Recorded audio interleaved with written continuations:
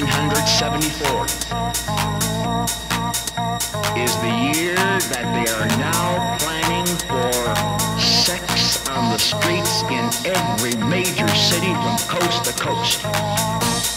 And get ready for a shock. The music that they're planning to use to crumble the morals of America is as rotten, filthy, dirty,